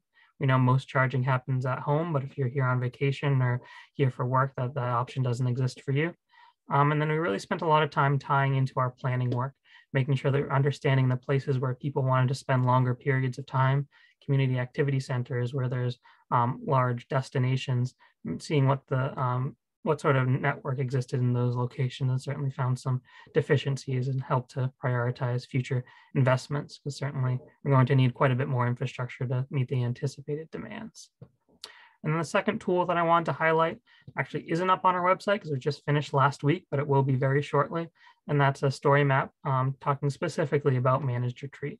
So that was mentioned earlier, um, and certainly this is something that um, many Cape communities are grappling with, but it's a challenging conversation, particularly if you're talking about abandoning um, a resource. Um, so the story map goes through the number of different adaptation strategies and kind of describes what the pros and cons of them are and presents fact sheets to give some more information. It also presents local examples so you can see what's happening within our region and in the area. Certainly there's some um, visually interesting examples of things going on on the coastline um, in terms of managed retreat. It also includes best management practices for environmental messaging and a specific communication strategy, because um, those can be some pretty tough conversations to have. Um, and so really providing some guidance on there. And then lastly, it highlights some other existing tools um, that are helpful in these conversations, including the Commission Sea Level Rise Viewer, um, and a coastal planner application that really allows for testing for different scenarios for solutions. And yes, you can go ahead to that last slide there. I'm onto my last slide at this point. And just to highlight that funding is really the next piece. Um, so this really sets the framework for action. Now we're going to be working with a number of partners to implement um, some of the actions identified in the plan because really we're at that point now. We really need to um, implement a number of these strategies in order to get to the climate future we want, not some of the um, really dire futures that were um, looked at in some of the analyses. So I know I went through that quickly, but happy to um, follow up either in this setting or certainly afterwards if there's any questions. Thank you, Stephen. I know that Story Map is, is a really great tool. We actually have one on our website for our, our um, climate change transportation vulnerability study. And uh, we're going to update that and actually going to use it for other, other studies too. So that, that's a great tool. Thank you for that presentation. Um, I'm going to move on to our, um, to Martin Pillsbury from MAPC. Thank you very much. Um, you're, you're, welcome. Uh, I see your slides up and running, so thank you. So uh, my name is Martin Pillsbury. I am the Director of Environmental Planning at the Metropolitan Area Planning Council. And um, I just want to um, shout out to Bill Napolitano uh, because uh, he mentioned that he'd been working for uh, 30 odd years. I forget how many he said. I have to admit to being a Johnny come lately because I think I started about one year after he did. Uh, but we are sort of of the same cohort. Uh, and we've actually had the chance to collaborate off and on over the years, which has always been uh, a great, a, a great pleasure. And so if you can move on to the next slide. I'm just going to give an overview. This is a kind of quick table of contents of what the presentation uh, includes today for MAPC, an overview of our climate adaptation types of technical assistance we do with communities, climate programs and resources and tools that we have, uh, we'll then also talk a little bit about our, our, our new regional plan, uh, Metro Common uh, 2050, and the climate priorities are within that, uh, and a little bit about our climate advocacy and policy work. And um, I guess we may not have time for uh, questions and answers within each each one of these, but maybe there'll be a time in general at the end. Uh, go ahead to the next slide. So just uh, to get established for folks to be familiar with MAPC, uh, Eastern Mass uh, area around Greater Boston, 101 uh, municipalities in the region. That's such a big beast that we've actually divided it into eight subregions to have a more manageable level of interaction and conversation with similar, more similar groups within different parts of the region. Um, this overall region uh, includes about over a little over 3 million residents and about uh, 1.8 million jobs, but that's as of, as of the last census. I haven't yet had a chance to grab the new census in, but uh, wouldn't be surprised if me if that in 10 years later is upwards of 2 million jobs. That's just a sketch, thumbnail sketch of the region as a whole. Go ahead to the next slide. Um, so uh, our involvement in climate, it, it spans uh, both uh, what you would call the mitigation and the adaptation sides of the ledger. Uh, we have a number of action, uh, projects and activities that are around greenhouse gas reduction and climate mitigation. Uh, and climate action plans and sort of that thing. Those are actually not mostly in our department. We have a separate department of what we call the clean energy department that mostly does those sorts of projects. And then most of the adaptation and resilience planning types of projects are in the environment department. That's my department. Uh, so a few of the things that we'll talk about a little bit more detail here, uh, our climate resilient land use strategies tool, um, things like the MVP planning and climate resilience plans locally and their and activities with integrating climate into our regional, uh, into our hazard mitigation plans. Uh, those are a few things I'll highlight a, little bit more on as we go ahead. So, so go on to the next slide. So just a quick uh, check in on where do our member communities stand and the kinds of activities that are going on that they are getting involved with relating to climate. So this little infographic is showing us that uh, about 21 of our municipalities out of 101 um, have or are developing climate action plans. About a third of them um, uh, have adopted goals to reduce, reduce greenhouse gas emissions community-wide. About two thirds of them uh, have volunteer committees dedicated to climate sustainability or energy issues. And 100 of the 101 uh, are certified uh, MVP communities. So Um, you do the math. Uh, it's just, since it's only one community that hasn't, I won't name them, uh, but we're actually working uh, on getting them into, into, the program this year. Uh, go into the to the next slide. So just a few examples of some of the resources and, and projects that we have completed and, and are available. Uh, we have a, step-by-step guide to greenhouse gas uh, inventorying for communities, and we have worked with many communities on that, and some of them have taken guides like this and worked on their own. Uh, we have developed more recently a municipal net zero playbook.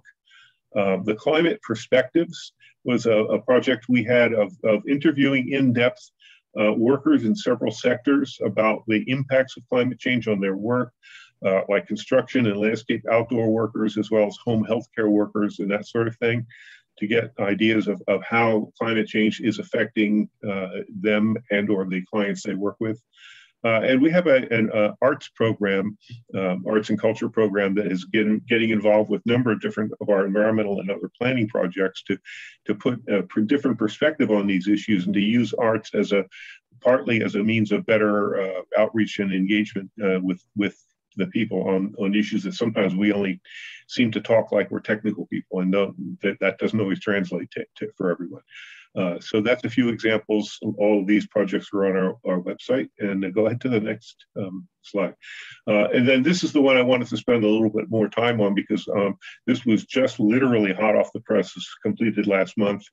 Uh, and it, it's a toolkit or it's a, it's a set of uh, examples and resources on communities uh, uh, tools communities can use through their land use and planning to integrate climate uh, into their into their local regulatory systems. Uh, and so this was based on research and calling out some of the best examples from around the state and a few from beyond the state on the kind of kind of categories. So a lot of planners in the room here, so they're all going to sound like familiar categories: floodplain overlays and, and zoning, uh, stormwater regulations, wetland, wetlands, site plan review, water conservation, uh, tree protection, that's becoming a bigger, bigger issue, uh, uh, not only in our urban communities, but even some of the communities that already seem to be tree rich, uh, concerned about staying that way. Uh, designs and design and standards and guidelines. So there's a lot of there's a lot of resources here. We literally just put this up on our website, and Anne Herbst, who's the author of this, is our, our principal environmental planner uh, um, is going actually around and doing a little bit of a roadshow onto some of our subregions and other partner agencies just to make them aware of this as a resource. I, I think most of these have ap applicability through the whole state because we all work to the same zoning codes and same zoning. Uh, you know, it's not it's not MAPC MAPC specific. In fact, some of the better examples that Anne called to, to use and hold up could could uh, could come from other communities around the whole state, probably for some of your regions uh, that, that, are, that, are, shown as uh, good examples of this kind of thing. So uh, that's, a, that's a newly published resource. I encourage folks to take a look at that. Uh, go ahead to the next slide.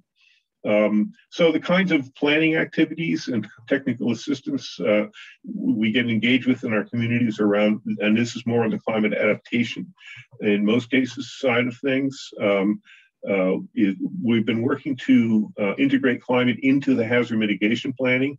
Uh, probably most of the other RPAs here, I think, have done a lot of those kind of hazard mitigation plans because MEMA has has actually, you know, set a priority for having the RPAs be service providers for those in many cases. Um, we have conducted out of the 101 towns over 90 hazard mitigation plans since the program started, and which was a while ago now. The program started in about 2003 or four. Uh, and at first, there was no climate mentioned in these plans at all. FEMA's guidelines didn't even have the word climate anywhere in them.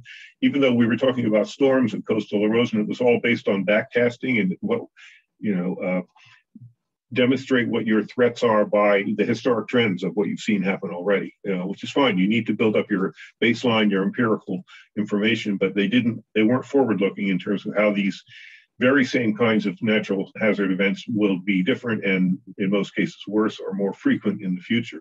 So clearly the state gets it now. The last 2018 state level hazard mitigation plan integrates climate into it. FEMA, even though they haven't officially changed their guidelines, sort of at the staff level, uh, gets it and supports the idea that these plans can be a platform that, that get into climate as well. Uh, and so we've been trying to do more of that in the plans that we've conducted over the last three or four years or so. Uh, and, and then also when towns have also been doing the, the next second item here, uh, uh, the, the, MVP, as I mentioned, 100 of the towns and cities in our region have done the MVP process. We've personally worked with about 21 of them. Uh, and where there's a lot of potential um, synergy between what comes out of the MVP process and what can go into the hazard mitigation plans in terms of uh, the MVP being main methods of a, community engagement in identifying both problems and identifying potential solutions. Uh, although being a little bit less technical and less formal than a hazard mitigation plan, uh, Anne Herbst, uh, my principal planner, likes to say the MVP is a great process to crowdsource uh, climate issues in the community. Uh, uh it, the HMPs are more rigorous in some certain sense, the way FEMA requires them to be, but you can they, they can actually talk to each other. And a few communities in the last few years have actually done the two of them together to come up with a more of an integrated approach, which makes a lot of sense. Uh, we've also had the opportunity to provide more detailed technical assistance for local vulnerability, climate vulnerability assessments and climate resilience plans for just a handful of communities, a few on the South Shore, uh, Duxbury, uh, Scituate, Braintree, as well as Brookline and Newton over the last few years. So that go, go, those go into a lot more detail and technical analysis than you do in a typical MVP or HMP. Uh, and we've um, also begun using the kinds of tools that I, in that toolkit I just mentioned. We've worked with some communities on updating their regulations and bylaws and incorporating climate change.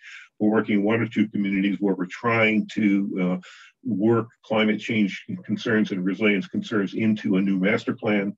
Uh, we see that happening in a few communities, but often in not in a very profound way yet. So that's there's an opportunity for more of that. Uh, go on to the next slide, please. Uh, so another sort of unique initiative we have is a regional uh, collaborator, or maybe I call it a sub-regional, a, a part of the MAPC region. Uh, what we have is the Metro Mayors Coalition. Now, the Metro Mayors Coalition existed now for, I don't know, 15 or more years, and it's 15 of the core cities and towns uh, at, the, at the center of our region, uh, the most urbanized communities for the most part. Uh, and that group of, it really is the mayors for the most part who actually participate in this uh, unlike the typical general regional council, because used might be the town and city planners and that sort of thing. So this is a different kind of group. It's a little bit more like a COG almost, where the actual elected officials are the ones uh, that get involved. Uh, and they have come together and agreed among their themselves with, with our facilitation to to to have this kind of a, of a platform, a forum for regional collaboration at a, at a higher level uh, within these 15 towns, and then uh, back in 2015, this group took on put we put a big climate summit together, and the uh, the mayors and a few towns here signed a, an official kind of agreement that, that they would work together on climate issues, and created a climate task force to to do that, which then has the key officials within each city and town that are the chief sort of climate planners, often the, the planning director or conservation, or in some cases now towns and cities they're getting sustainability officers and that sort of thing. And so they work together on a number of different specific projects over the years since 2015. See a few examples on the list here. Uh, you know, mitigating heat impacts is a big one in this very urbanized area. Mitigating flood also a big involved. So many of these are also coastal communities with the sea level rise issues. Uh, and then deepening the connections between state and federal collaboration. Just a quick example of that. Two of the big pieces of infrastructure that affect Many of these communities are the Charles River Dam and the Amelia Earhart Dam on the Mystic River, the two you know big rivers coming into the Boston Harbor, uh, and those dams um, both are owned by DCR, state owned. Uh, and the more recent climate uh, sea level rise modeling done by Woods Hole Group suggests that under certain worst case scenarios in future decades, those those dams could be overtopped. And if they were overtopped, the vast areas of Boston, Cambridge, Somerville, uh, Medford, et cetera, would, would be underwater. So uh, they're already looking at ways in which uh, they can plan ahead to uh, make those facilities more resilient uh, and have more capability to handle higher level storms than they might have traditionally been expected to in the past. That's just one example of we probably couldn't have gotten the state's attention if it was just one or two towns or cities although maybe Boston could, you never know. Uh, but having this 15 group of 15 mayors and towns together uh, is able to, to help, uh, I think, get a little more focus uh, when they're trying to get federal and state agencies involved as well. Uh, so go on to the next slide. Uh, another um, program I wanted to mention um, yes, is our Accelerating Climate Resiliency Grant Program. Uh, and so this is a program where we actually give small to medium, medium-sized grants to our member communities and in some cases to other stakeholder groups within communities to actually implement on-the-ground climate projects. Uh, and it's a program, the, the source of funding for us to be able to give grants is actually through a foundation grant that we get. Uh, and so we're then the grant manager that we, we accept applications and proposals.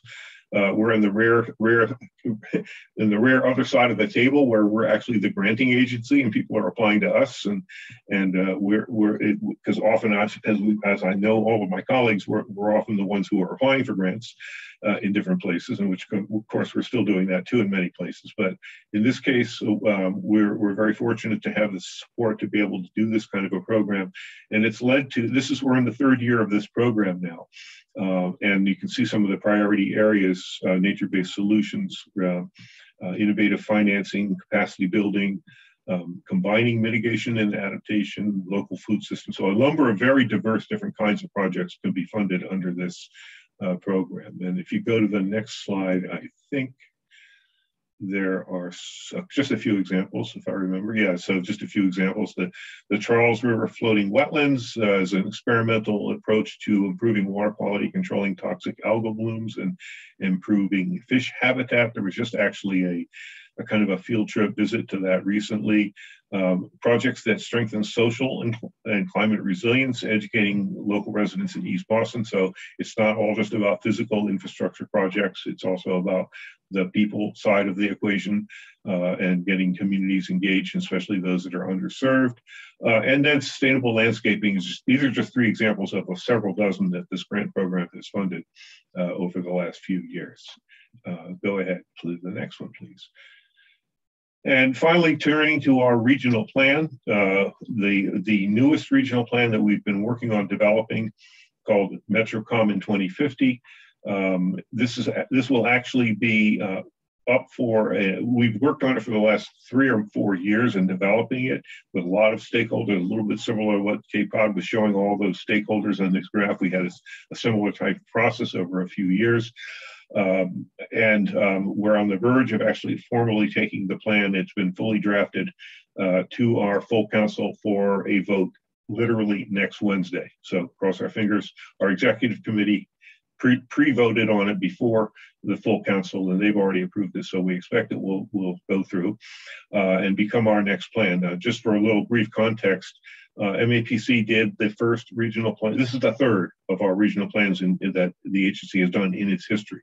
The first one was done in about 1990. It was called uh, Metro Plan. Uh, and then that was updated and replaced in 2008 uh, by a plan that's called Metro Future. And now Metro Future being uh, 13 years old, uh, is about to be replaced by Metro Common. And notice that they keep putting Metro in there. So I guess the idea that we're metropolitan planning. So uh, that the, the same prefix, but a different suffix each time. And um, so the, the structures of each of these plans, as, as you would expect, has evolved quite a bit and become much more uh, stakeholder driven as time has gone by, which you know obviously is a good thing. Uh, on the left, you see the 10 sort of major policy areas that the plan includes, and just uh, uh sort of highlighting three of those where the Metro Common uh, actually has climate-related goals and or for all of these there are goals and there are policy recommendations, and just quickly highlighting a few of the three uh, areas that have some climate-related. This isn't everything in the plan, but it's just highlighting a few of them uh, that we have here. Uh, so you can get a, a, feel for what's coming for the plan that is likely to be adopted uh, next week and will then be our plan probably at least for the next decade. And uh, go into the next slide.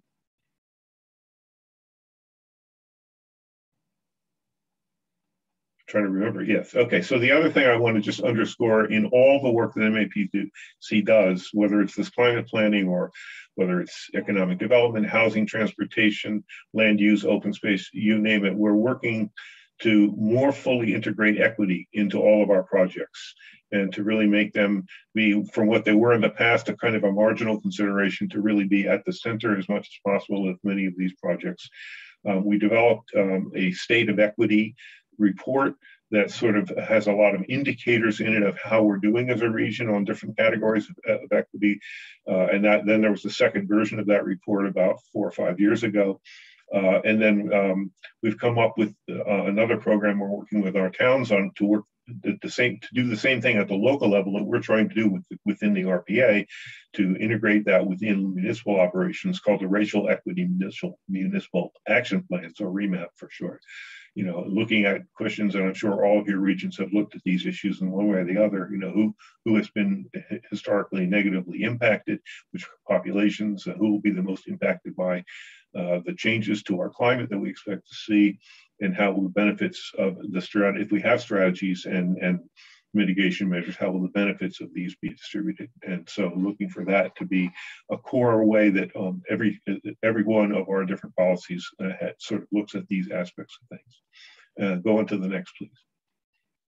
So uh, to kind of wrap up, there's a few, um, uh, just to say what kinds of legislative and policy activities MAPC has been involved with. Um, we serve on the state's Global Warming Solutions Act Implementation Advisory Committee, uh, MAPC and five other RPAs, some of whom are in the room here today, uh, serve on new, the newly formed MEPA Advisory Committee for updating the MEPA regulations on environmental justice and, and other and other MEPA regulation changes coming down the road. Uh, and I know, yes, OCPC uh, uh, and Cape Cod are on that, so are Central Mass, Merrimack Valley, and Pioneer Valley. Uh, and uh, we were also a founding member of the Water Infrastructure Alliance and, and continue to work on that through the Water, uh, I'm sorry, yeah, through the Water Infrastructure, Alliance, which was an offshoot of the, pro, before that, the Legislative Commission on uh, Water Infrastructure Finance, which looked at the, the funding gap and the needs for more funding and uh, in both wastewater, uh, water supply, and stormwater. And I think the last slide is the next one, if I remember correctly. Uh, just some of our climate advocacy priorities for the kind of advocacy programs we do, increasing state and federal funding for climate resilience, uh, targeting greenhouse gas emission sources, and always considering land use, the connection between land use in across all the different parties. And that, I believe, is a wrap for the presentation I have today. Thank you very much, Martin. Um, we have about 10 minutes left, and um, I'm going to do try to do the 10 minute version of what I have. And maybe we'll, we'll go over maybe five or 10 minutes if anyone has any questions. Um, so thank you for queuing that up, Sean. Um, so Old Colony Planning Council, um, we, we are the regional planning uh, agency for Greater Brockton. We have 17 community members in the Brockton Plymouth area and assist them in their planning needs, uh, providing a technical expertise in land use and transportation planning. Um, uh, so our, uh, we have in 2021 updated our previous uh, studies on climate change and transportation. We did one in 2010 and one, one in 2011 uh, through our UPWP. Um, so we wanted to align, align our um, our plans with uh, federal and state response to climate change. Um, we wanted to discern the climate change impact in OCPC region um, and what's what's the impact on the on the transportation system and what have been uh, the the communities in the OCPC region re response. What is what has their response been to climate change? And we wanted to uh, develop strategies and projects, specific projects for adaptation and management. Next slide, please. Um, this is the, this just shows the impact on, uh, uh, on carbon emissions that heavy trucks and passenger vehicles has, have. Uh, this is across the entire country, not in our region, but it's from the, um, Bureau of Transportation Statistics. You can see that heavy trucks and passenger vehicles across the, the country in the last uh, two decades have been uh, the bulk of transportation emissions, carbon emissions, where the other modes of transportation, water, air, rail, pipeline have been much smaller. And I think that was, this is shown in, in some of the other previous uh, presentations. Next, please. Um, so we, the federal directives um, in the FHWA come from um, Executive Order 13653 uh, from 2013. And uh, this, this um, executive order directed uh, federal uh, FHWA to engage in partnerships with uh, in all levels of government, state and, and the local level, um, to use risk-informed decision-making and come up with the tools to facilitate it, um, uh, utilize adaptive learning, look at the experiences of uh, the impacts of climate change, what kind of opportunities do we have to uh, adjust to future actions, um, support the state and local governments in, in resiliency. Um, and uh, the FHWA uh, is using, uh, trying to use a data-driven data-driven uh, decision-making on performance and, uh, and assess the vulnerabilities based on data. Um, look at the loss of routes, uh, look at the loss of situational awareness and service life, uh, especially on, on surface, uh, on road surfaces, and uh, inability to shelter in place and evacuate. And of course, there's always the, the safety risk factor. And um, and another important uh, aspect is loss of mobility means the loss of uh, economic productivity as, as more facilities are impacted uh, by climate change. Next, next slide, please. So the OCPC region, um, uh, not to downplay some of the other impacts of climate change, but um, in, in the OCPC region, there are two basic uh, impacts. We have riverine or inland flooding, adjacent to wetlands, rivers, and streams for our inland towns. And, and also for our towns on the coastal region, we have coastal sea level rise and inundation due to flooding, uh, due to um, weather events, storm events. Actually, both are impacted by, um, by storm events, um, nor'easters and hurricanes. Next, please. Um, the, these are uh, the previous studies that we've, we've done, and uh, they, they focused on some of the things that happened in, in historically in March 2010. There was a storm event that impacted roads throughout at least 15 of our communities. Um, they looked at uh, dams and stormwater and drainage. Uh, in Plymouth, sea level rise, um, air quality and health, um, sea, uh, repairing and modifying sea, sea walls for our coastal towns um, that looked at dams and um, local storm drainage, detention and retention bas basins. Um, for some of the uh, improvements or, or recommendations, uh, they, uh, they had uh, look, looking at regulation, updating stormwater treatment and retention provisions, floodplain management plans, um, and also to consider low impact development and track elevation for rail and uh, the 2011 report uh, had uh, extensive stormwater mapping and mapping of impervious areas throughout our, our communities. Next, please.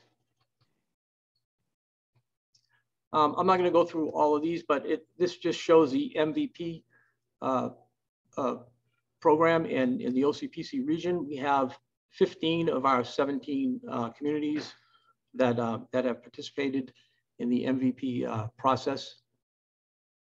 Next, please. And uh, I, I, just want to touch on just a few of the towns. I'm not going to uh, show all of our towns, but just show some of the vulnerabilities and the impacts um, on, on, a few of the towns. In Abington, um, the police station is is located right up right up against uh, on Center Center Street, Central Street. Um, and uh, that's one side of the, uh, the Island Grove Pond.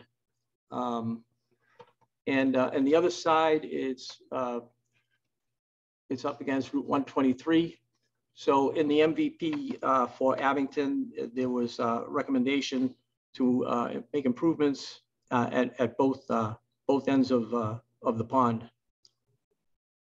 Next, please. Um, this this um, is in Bridgewater, and this is from the March 2010 um, storm event. And that that uh, picture on the left shows what happens to a road when you have too much water going in one place at one time. Uh, uh it um, undermines the, the base of bituminous concrete uh, roads. And uh, the, the, the photo on the right is the same road as it was repaired. Next, please. In Brockton, uh, the uh, I took this map from the MVP study that was done for by a consultant for the for the city of Brockton, and it shows the vulnerability of the city uh, from the Salisbury Brook, which literally cuts the uh, the city in two and actually goes right through the downtown. So there are citywide flood issues um, going on in Brockton. And you can see again uh, on the left that shows the uh, impact uh, near Pleasant Street of the Salisbury uh, Brook in March uh, 2010. Next, please. Um, the, um, the MVP uh, report, the full report is available on the, on, the, city's website from a consultant. Um, and um, some, I, these are just some of the um, recommendations uh, from that report. Um, nature-based solutions and uh, to flood storage. And uh, they, they talk about enhancing the, uh, the ability of the natural ability of um, Ellis Brett Pond and uh, other, other parcels near Sergeant Way to, uh, to improve the, um, the capacity during these flood events for more details, like I said, um, people can go right online. It's, it's readily available uh, on the city's website. Next, please. In Duxbury, we have the, the other side of the coin. Um, we have sea level rise. Um, they had a consultant uh, do a climate change vulnerability assessment and adaptation plan in 2021. Um, and they, they looked at uh, coastline sea level rise impacts. They, they did some uh, uh, forecasts for 10 year and 50 year horizons. Uh, again, they talk about adaptation strategies uh, like move or retreat existing uh, assets to higher ground, improving, improving flood protection, seawalls, et cetera. Next, please. Kingston, again, sea level rise. Um, they have uh, their MVP was completed by a consultant. Um, and, and there's also a, uh, in, in partnership with the uh, Jones River Water, Watershed Association, the town is currently uh, has a consultant completing um, sea level rise impacts on, on the uh, Jones River Landing and, and the surrounding area. Uh, that includes the some of the roads and some of the uh, uh, the bridge over Stony Brook, um, as well as the MBTA um, MBTA bridge over Landing Landing Road, and that that uh, I believe that study is going to be done by the end of the year, or maybe maybe next year. Next, please. Uh, th these, uh, this map shows the impact on, on Plymouth, some of the uh, vulnerability, uh, some of the places of vulnerability. Uh, Route 3A over the Eel River. That bridge was uh, recently, a few years ago, that was reconstructed. However, it still, um, it still is, has potential for flooding, especially with a category two or category three um, hurricane. I, I believe we only had, Massachusetts only had two category three hurricanes, but even with a category two hurricane, um, Route 3A is a major north, north-south uh, route in Plymouth. It could cut off uh, people in the south from the north. Um, Taylor Ave was recently reconstructed that's another area that's um, inundated uh, during storm events. Next, please. And the last, um, last slide I have uh, just summarizes potential funding opportunities. Um, I've got the Mass Municipal Vulnerability Preparedness Program, um, if towns can, uh, people from uh, local municipalities can can use some of these um, uh, potential funding sources. Um, towns on the coast, if there there's 78 communities uh, uh, in within the coastal zone management, uh, they've got the Coastal Resilience Grant Program um, and other programs, the green communities. I, I think some we talked about that before in some of the previous um, presentations. Um, and of course, we have our tip and in this federal grants um, at the bottom. And that is the 10 minute version of, of my uh, run through of this presentation. Um, so I did ask uh, participants to use the um, question and answer uh, part button for questions. So some people put them in the chat. I did have one question here. What was the question?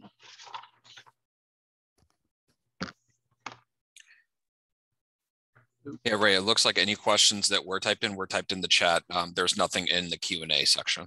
Right, right, right, right. I, okay, so I'm going to go back in the chat. Uh, does the Taunton River watershed mapping and resilience model include the southerly portions of Bridgewater, which is tidal? Uh, I'm not sure who, who could answer that. Hey, Ray, I'm back.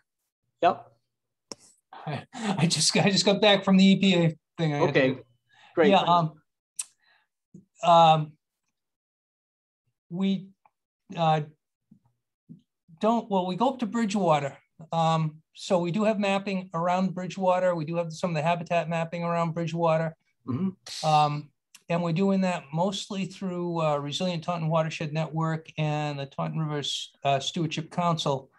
As far as uh, hard data, we'd be working probably with OCPC on that, and we could uh, we could definitely do something with you guys. That would be fine to maybe sure. enhance it. Bridgewater has questions.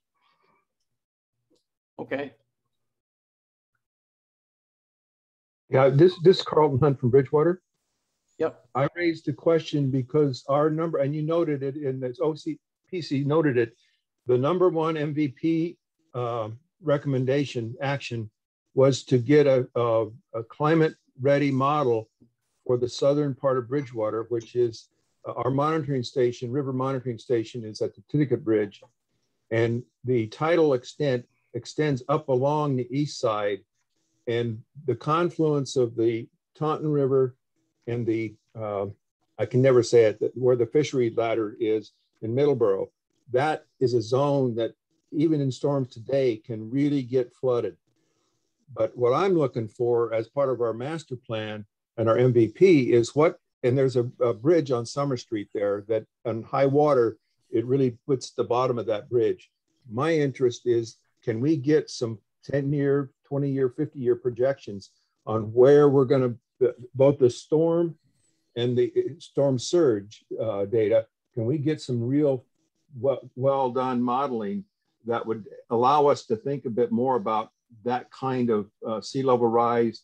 And I, when you were talking, I also saw uh, we need to look at some of our, our a lot of our streets flood uh, because of poor drainage, et cetera. And I think we need to look at the town that way. So uh, I know the town tried to get some kind of grant uh, to do that modeling, but apparently uh, shovel ready projects uh, were more important to the funders. But I, if people have those models done already, I would love to see a presentation on that. And I'm going to sign off because I've got another meeting to go to.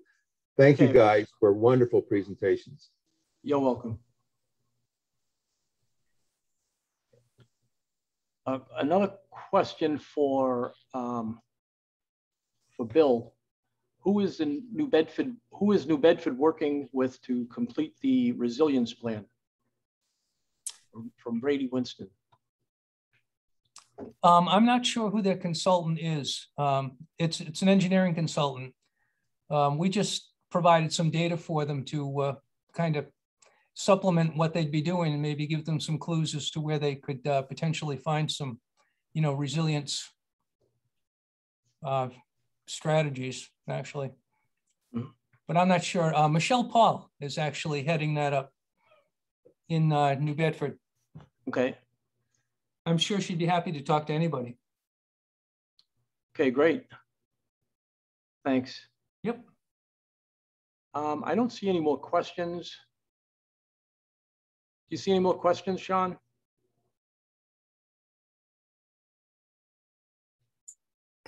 I think that was Mr. Hunt's questions. And I think that's it.